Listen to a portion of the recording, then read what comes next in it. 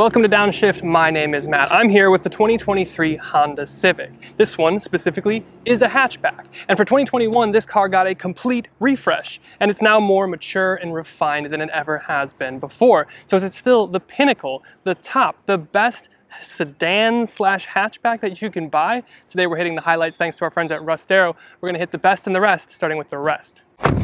Number one, we're gonna start where we usually, Thank you, Honda. Number one, we're going to start where we usually do, and that's with some of the random, smaller, seemingly missing items that you get on this top sport touring trim. No matter how much money you spend on a Civic, you can't get lumbar adjustments, a memory seat, a heated steering wheel, ambient lighting, or rear air vents. Of course, some of these things Honda's wanting to push you up into the Accord if you want to get, and if you want something like a panoramic roof, well, you're going to have to go to the Acura lineup and get into their sedans if you want that. Number two, we're going to talk about the fact that there's no hybrid, at least as of yet. This is a little bit of an asterisk here in the sense that the Civic Hybrid does not exist, although it kind of did very recently, but it went by the name Honda Insight. However, there is now, for 2023, no more Insight and no Civic Hybrid. So if you do want max fuel economy, you have to go for the Accord. Or you can wait another year for 2024 when the Civic Hybrid hits here. The silver lining is the fact that the Civic here actually gets 29 uh, MPG city and 37 MPG highway, which is pretty dang good even without a hybrid. So I guess I'll take that. And third and finally, they're a little bit expensive. Now these Honda Civics, and we're talking about hatchback prices here, start at just under 25 grand. This top trim Sport Touring starts at just over $31,000 though, which is a problem because the Corolla starts at $21,700 and the XLE Hybrid starts at $26,850.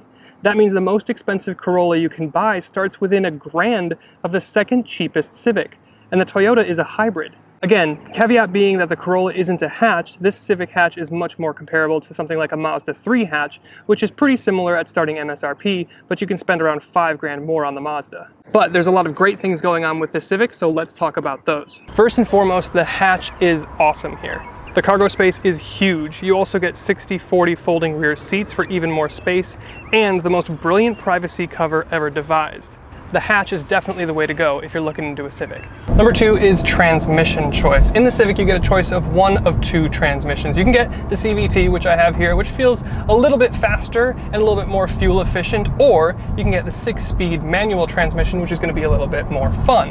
And also, usually you can only get manual transmissions on the base trims of cars. But here in the Civic, you can get the manual on the top trim, what we have here, the Sport Touring. So that's pretty cool.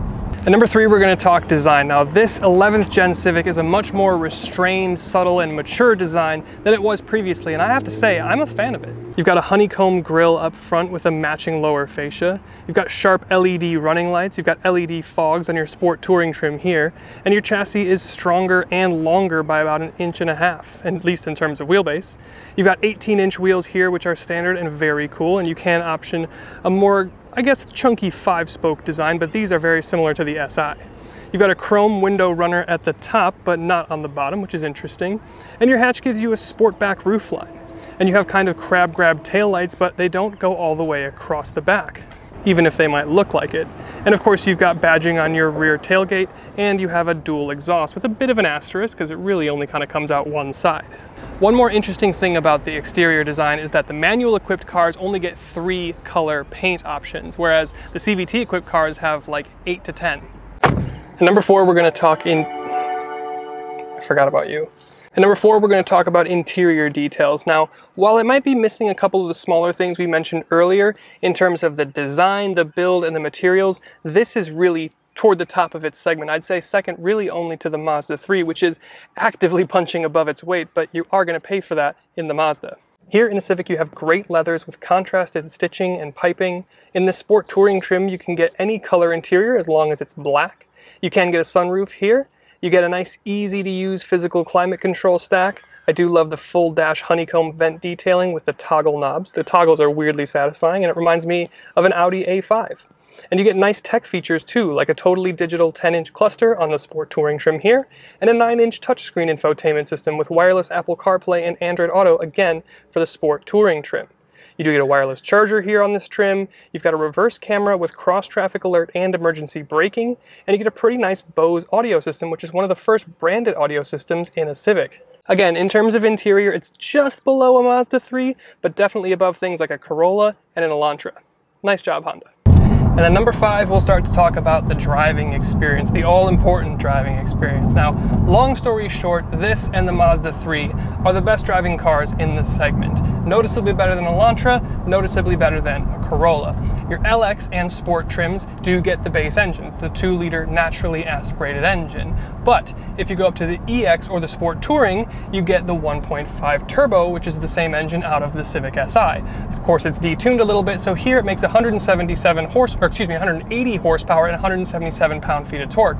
That power goes through an open differential, of course, in this application, the CVT, to just the front wheels, and you can get to 0 to 60 in about 7-ish seconds. Does it feel like a sports car or a hot hatch? No, but it shouldn't really. The SI and the Type R are there if you still need more power, more performance, and of course, those LSDs. The steering is good though, the damping strikes a really nice balance between spunky and comfy, and it's just easy and fun to drive. A couple interesting things to note just generally about the manual cars though. The clutch is really light, that stays true throughout the Civic, the SI, and even a little bit in the Type R. The shift action is really satisfying, and there's actually no drive modes that you can get with the manual car, which I guess isn't a huge surprise. But again, overall, it's fun, it's easy, it's a nice little hatch that gets great fuel economy, and I just, I like driving it. It's a good car. And then lastly, rear seats. This is the smallest car that Honda makes, and even still, myself at 6'1", I'm pretty good. These rear seats are bigger than they were last generation, and with the sloped hatch roofline, it does eat into headroom a little bit, but even with my hat on, I'm fine. The materials in the back here aren't quite as nice as the front, and you can tell on the, the door card. And you do get only one pocket and you don't have air vents in the back here, but you do get dual USBs, cup holders, and a comfy enough seat back here. I guess my only complaint is that it doesn't have air vents back here, but other than that, I'm really impressed with the back seat here. So that's the best and the rest of the 2023 Honda Civic hatchback. It's a great experience from the driving to the interior and cabin appointments and the cavernous and practical hatchback. At over $31,000, this sport touring top trim starts to seem like a lot of money though, but for 2024, once this thing has a hybrid, I think it's gonna be even more compelling than it already is. So thanks again to my friends at Russ Darrow Honda for letting me have a go, and we'll see you in the next one.